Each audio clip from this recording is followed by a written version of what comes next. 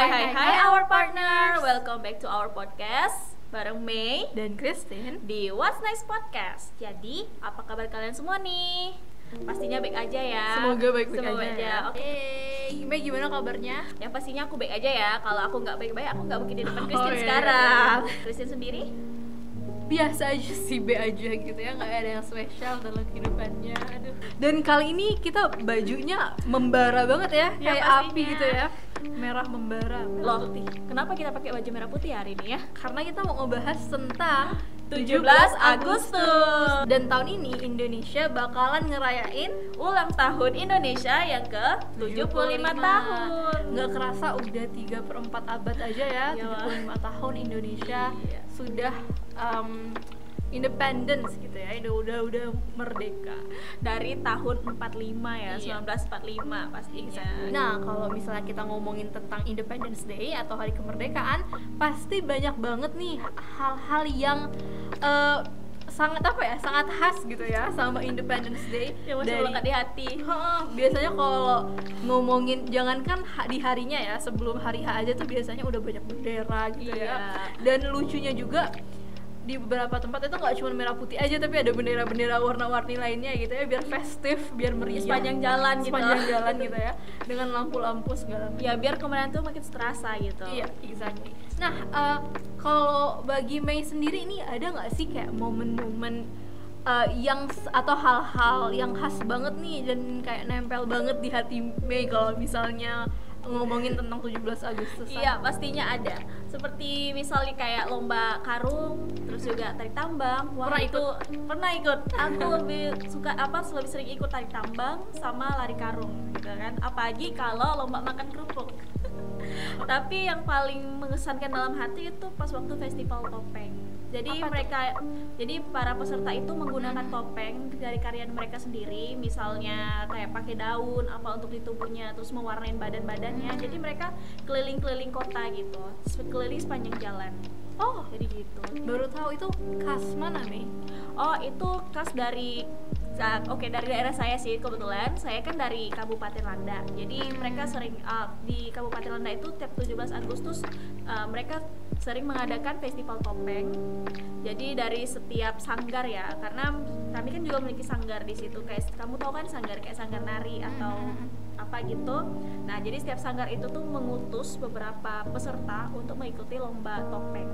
Oke. jadi gitu Oh berarti kayak nggak cuman kalau misalnya kayak lomba itu kan udah dari Sabang sampai Merauke kayaknya Iya. sama semua ya biasanya yang paling eh, utama banget tuh kayak lomba makan kerupuk, panjat Hmm. pinang, eh, lomba karung gitu ya banyak ternyata lomba lainnya Ha-ha. paling tapi yang paling khas itu lomba panjat pinang lah ya lebih Iya, iya, terkenal iya. ternyata tapi di tempat Mei juga ada ini ya mungkin ada beberapa daerah yang memang punya khasnya sendiri Iya, kayak tadi. Mei bilang di Landak itu ada Lomba, topeng ya, iya, lomba festival baru pertama topeng. kali loh Christine denger ada lomba festival oh topeng jadi lain kali kamu boleh loh datang ke tempat aku tapi setelah pandemi Iya, exactly. Nah, kalau Christine sendiri biasa eh, apa sih yang paling melekat di hatinya Christine tentang 17 Agustus ini kayaknya yang paling Kristen inget banget itu pas dulu kan Kristen tinggalnya di Tangerang Selatan. Di sana Wow. itu di dekat rumah, di belakang rumah itu kayak ada lapangan gitu dan kita ada ngadain lomba dong. Kristen waktu itu menang lomba karung. Pokoknya kalau main lomba karung itu nggak tahu kenapa Kristen selalu menang. Tapi itu kayak perjuangannya sampai lebay gitu loh, sampai kakinya berdarah-darah. bisa ya Iya serius kayak saking maksudnya kayak Kristen kan nggak terlalu tinggi nih oh bagi Heeh. para pendengar mungkin nggak ada yang tahu ya tapi saya itu nggak Kristen tuh nggak terlalu tinggi dan kalau misalnya lompat berarti kalau sama teman-teman yang lebih tinggi mungkin bakalan jauh gitu kan. Oke jadi kayak gimana ya? Maksudnya ya langsung buru-buru gitu kan lombanya saking semangat buat menang. Dan akhirnya menang sih cuman ya kakinya sambil berdarah-darah.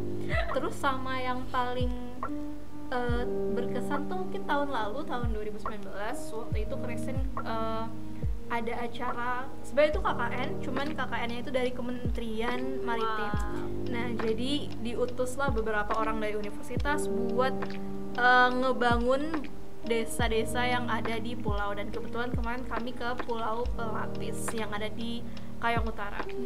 Jadi di sana kayak di sana itu kan nggak ada sinyal, nggak ada listrik itu susah banget. Jadi kayak ngerayain 17 Agustus beneran from scratch dari bendera segala macam itu kita buat banget dari tangan sama teman-teman terus ramai banget karena warganya antusias gitu sih itu kayak Wah, nggak banget ya caranya. Iya, iya, itu nggak nggak terlupakan sih biasanya juga kalau misalnya lomba eh, bukan lomba maksudnya kayak waktu 17-an biasanya mungkin teman-teman juga ada yang sering nonton upacara gitu ya upacara bendera yang ada di TV nah Iya, biasa live gitu ya Heeh, kalau tahun ini kita agak beda ya. Udah denger belum beritanya? Iya, ya udah dengar kok. Kalau misalnya tahun ini hanya orang tertentu saja yang mengikuti 17 Agustus. Iya, jadi kalau biasanya itu kan 17-an bisa diikutin sama beberapa orang sih kayak masyarakat umum dan ada beberapa yang sekolah-sekolah. Heeh, dari sekolah-sekolah eh, dan ada yang diundang gitu ya sama eh, pejabat negara dan pemerintah.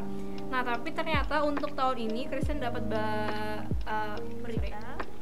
Kristen dapat infonya dari beberapa website Tuh, salah satunya adalah Warta Kota bahwa tahun ini tata cara tata bahwa tahun ini tata cara upacara uh, HUT ke-75 kemerdekaan Republik Indonesia itu di Istana Negara tetap dilaksanakan tapi cuman beberapa orang aja. Salah satunya ada Pak Jokowi dan istrinya, Pak Ma'ruf Amin dan istrinya serta beberapa pejabat lainnya. Dan uh, pejabat yang ada juga pejabat yang diberi tugas seperti kayak membaca proklamasi atau ngebacain un- undang-undang dasar 1945 Iya.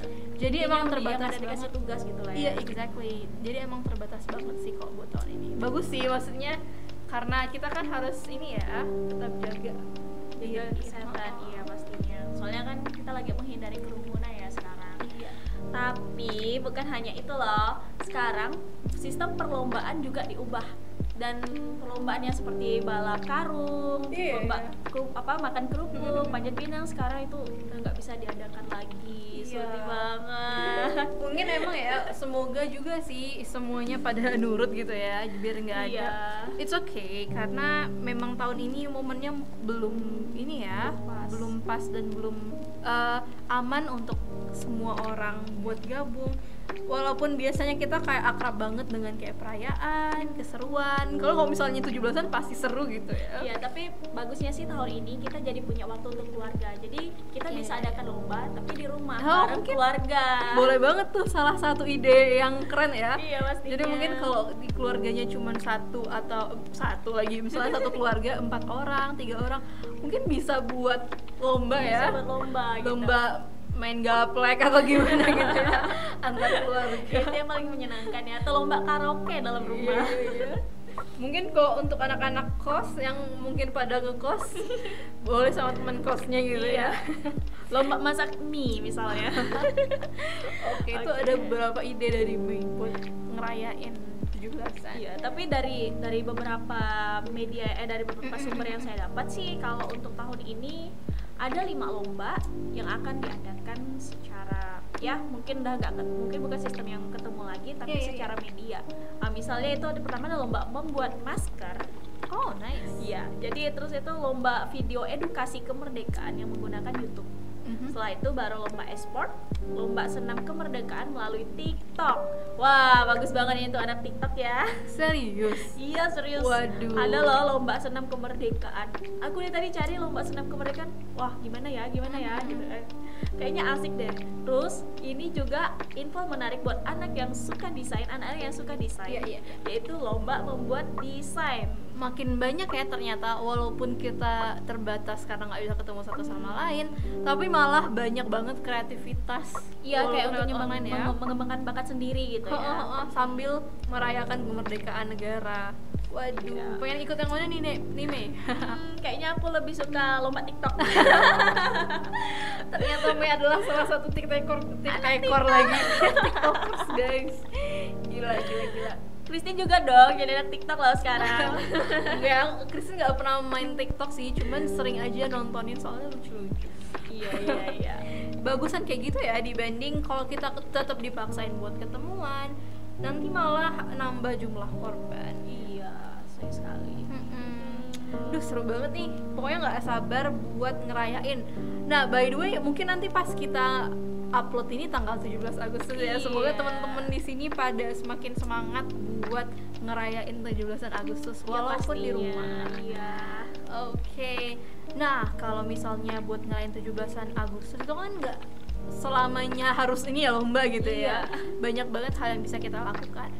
Nah, salah satunya adalah menonton Nonton film. film. Nah, Mei ada rekomendasi nggak film-film yang Pastinya ditonton? ada dong film khusus kemerdekaan Iya, iya, Indonesia. Yang pertama itu Darah Garuda. Pasti banyak yang tahu nih tentang Darah Garuda. Apalagi yang kedua itu tentang presiden pertama kita. Ayo siapa? Soekarno. Terus yang ketiga itu loh tentang Jenderal Sudirman dan kemudian Battle of Surabaya. Terus Sugija. Wah, menarik banget ya film-filmnya. Iya, mungkin itu bisa jadi beberapa referensi buat teman-teman yang mau ngerayain kemerdekaan Indonesia tanpa harus keluar dari rumah Iya, bener dan banget. cuman bermodal kuota serta laptop gitu ya. Jadi terhibur sambil nonton, sambil belajar dan juga sambil sambil ngerayain kemerdekaan. Nah, sebelum kita tutup nih Mei, pasti abis ini Mei mau langsung ini ya nonton filmnya ya, atau Iya. mungkin mau buat TikTok yang tadi. Nah, kalau dari Mei sendiri ada nggak sih pesan dan kesan di hari 17 Agustus ini biar pada makin semangat? Oke, buat para pendengar semua, walaupun kita nggak ketemu, jangan sedih, karena sekarang untuk 17 Agustus kita kan bisa meluangkan waktu bersama keluarga. Jadi banyak-banyaklah meluangkan waktu bersama keluarga. Kalau misalnya eh, karena kita nggak bisa ikut perlombaan di luar, ya ikutlah lomba di dalam. Misalnya eh, mengadakan lomba dengan keluarga, karaoke, nonton bareng, wah itu pasti paling menyenangkan. Nah, kalau kita ngomongin hari kemerdekaan itu biasanya identik dengan penjajahan gitu ya.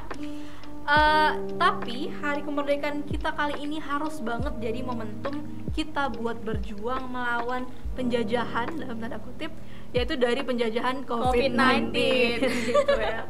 Nah, eh, banyak banget sih hal yang bisa kita lakukan dan cita-cita besar Indonesia agar bisa menjadi makmur, sejahtera serta berkeadilan Iya, pasti. itu bisa banget digapai terutama bagi teman-teman yang masih muda lewat hal-hal kecil yang kita lakukan setiap harinya dan karena again ini momen kita berjuang melawan COVID-19 mungkin bisa dari hal-hal kecil seperti nggak keluar rumah kalau lagi nggak perlu atau eh, tetap cuci tangan pakai masker itu Ya, udah jaga termasuk kebersah- kebersihan lah ya. Iya, udah termasuk dengan berjuang ya dalam tanda kutip. Tapi masih banyak lagi sih hal-hal yang bisa dilakukan demi mencapai Indonesia yang makin sejahtera ke depannya. Amin. Iya, amin. Nah, Oke. pokoknya untuk hari ini semoga teman-teman tetap semangat merayakan kemerdekaan Indonesia. Dan sekali lagi, dirgahayu Indonesia yang ke-75 tahun. Yeay. Thank you for listening and Bye. bye. Have a nice day.